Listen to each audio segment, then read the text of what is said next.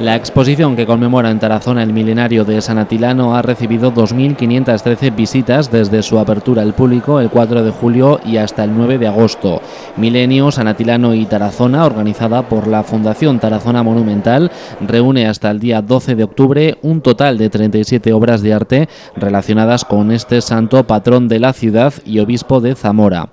Hasta el 9 de agosto, el 44,17% de las visitas fueron realizadas por turiesonenses, mientras que del resto de Aragón se acercó un porcentaje cercano al 18%.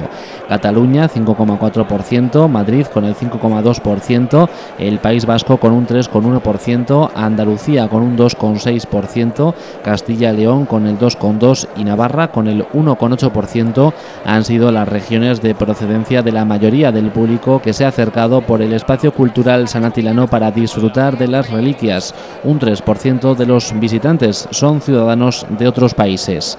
Hasta ahora la mayoría de las personas interesadas eran de la propia ciudad, pero con el inicio de este mes ha aumentado el número de gente que viene de fuera. Muchos recalan en Tarazona tras ver las edades del hombre en Soria. También es reseñable el interés que despiertan las visitas guiadas que hay que reservar previamente por teléfono. Los comentarios del libro de la muestra reconocen el esfuerzo de organización que ha conllevado la exposición y demandan más iniciativas de este tipo para Tarazona.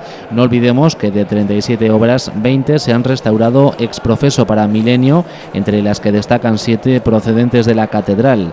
También está teniendo buena acogida el catálogo y los materiales divulgativos para niños.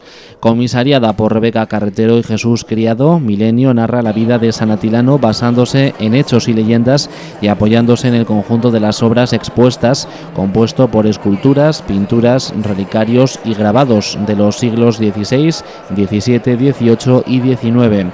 Entre estas piezas se encuentra el relicario del anillo por el que cuenta que San Atilano aceptó el obispado de Zamora tras encontrarlo en el vientre de un pez.